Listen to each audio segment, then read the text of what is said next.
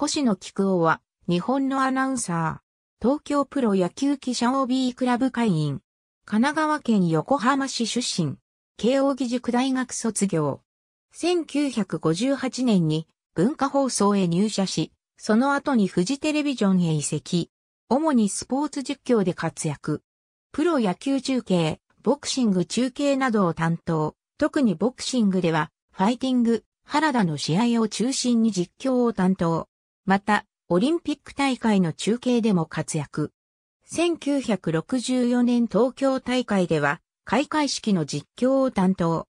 1972年ミュンヘン大会では、ジャパンコンソーシアムの一員として中継を担当した。冷静なアナウンスが特徴。フジテレビではアナウンサーの後、アナウンス室長、スポーツ部プロデューサーを歴任。また、テレビ新広島が開局した頃には、新人アナウンサーだった神田康明の教育係を兼ねる形で、フジテレビから派遣され、プロ野球広島東洋カープ戦中継の実況を務めた。後に日本リトルリーグ野球協会事務局長を務めた。2011年に東京プロ野球記者 OB クラブへ入会。